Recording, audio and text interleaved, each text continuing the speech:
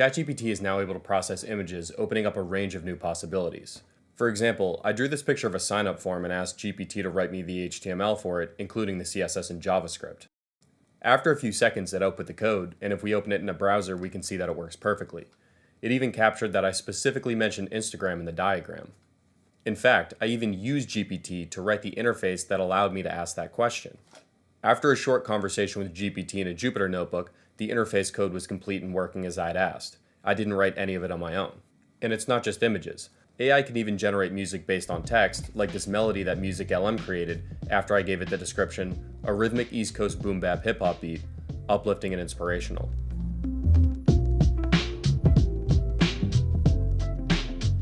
The ability of an AI model to work with different types of data, like text, audio, and images, is called multimodality.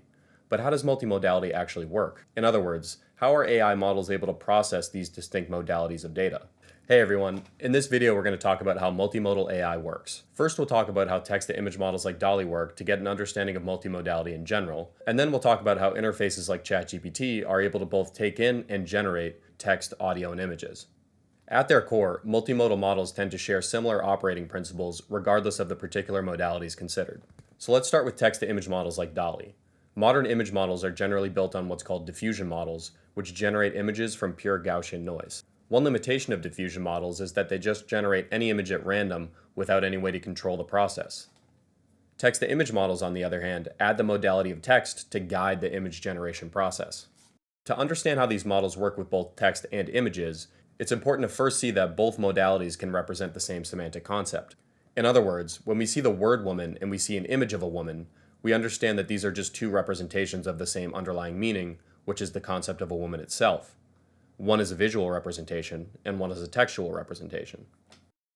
Rather than working with these representations themselves, a multimodal AI model will often work with the meaning directly. Multimodal models use embedding models to convert text and images to vectors that capture their meaning. To learn more about how and why this works, you can check out our video on word embeddings. The relevant question for us is, how are these embedding models trained?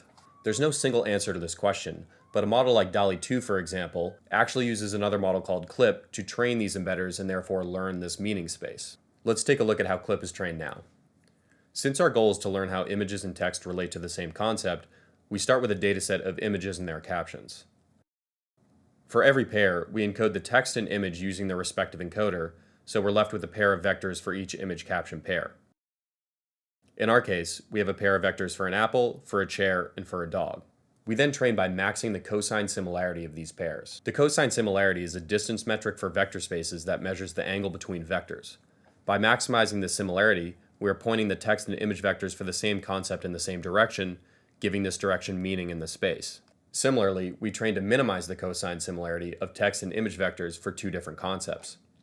And we repeat this process for every combination of text and image vector in the batch. In this way, we'll train the encoders to map both text and images to the same space in such a way that their meaning is preserved. The learning of the space lies at the crux of how multimodality actually works in this instance. To generate an image, DALL-E 2 will embed the input text into this meaning space, map the meaning textual vector to a visual meaning vector, and then decode this visual meaning vector into an image. How this actually works in practice is by conditioning the diffusion model which generates the image. This gets a little complicated, but diffusion models use what are called U-nets to iteratively denoise a Gaussian input into an image. And the meaning vector is used to condition this process to generate a specific image. You can read our article on building your own text-to-image model if you want to actually see how this works under the hood. But what about models that can both input and output multiple modalities, like ChatGPT? Text-to-image models only handle one modality at each end of the model, text on the input and images on the output. On the other hand, ChatGPT can now accept images, text, and audio and generate images, text, and audio. This ability actually leads to an issue that may not be immediately obvious. For example, imagine a detective who describes a crime and then asks ChatGPT to paint me a picture of a man who would commit such a crime. What is the detective asking the model to do? Is he asking the model to metaphorically paint a picture of such a man, like his backstory, his motives, etc.? Or is he asking the model to literally paint the picture of a man, that is, a literal image of his face, perhaps using details from witness reports. A priori, the model really has no way to know, and in fact, humans would give different responses to the same question. The fundamental thing to note here is that when somebody says ChatGPT, he's actually referring to two distinct things. First, there's the LLM ChatGPT, which is just GPT with RLHF fine tuning. And then there's the UI ChatGPT, which is the web application that users use to actually interact with the model. When ChatGPT first launched, there was a one to one correspondence, and so this distinction didn't matter. But now that the ChatGPT UI can accept multiple modalities, this distinction does matter. The user interface no longer just uses the LLM ChatGPT under the hood. It also uses DALL-E 3, likely Whisper, and some sort of text to speech model. If we speak to ChatGPT and ask it to draw a picture of a rabbit, this audio will first be converted to text by Whisper, then it will use the LLM ChatGPT to interpret this request, and then that response will be passed off to DALL-E 3 for the actual image generation.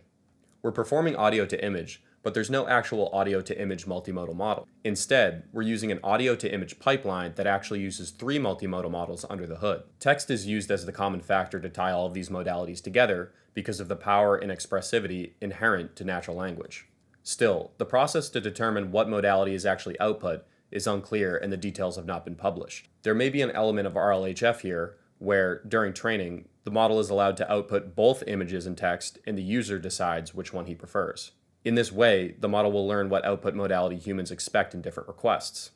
You can read more about how DALL-E 3 might work in ChatGPT in our blog. Alright, I hope that gave you a good idea of how multimodality actually works and the distinction between multimodal models and multimodal interfaces. If you have any other questions, feel free to comment below. Otherwise, I'll see you in the next video.